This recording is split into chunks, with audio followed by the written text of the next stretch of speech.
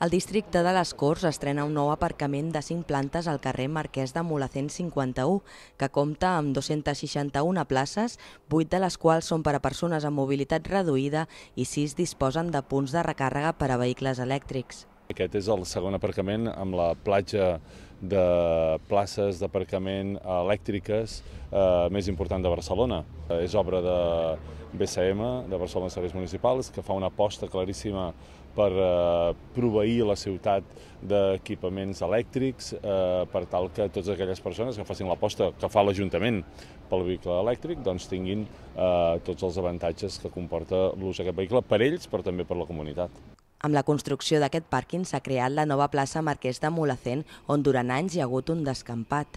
La plaça permet als vianants connectar amb l'Avinguda Pedralbes i el carrer Marquès de Molacén. Aquest nou espai per al passeig disposa d'enllumenat amb leds, que dona més llum amb un menor consum.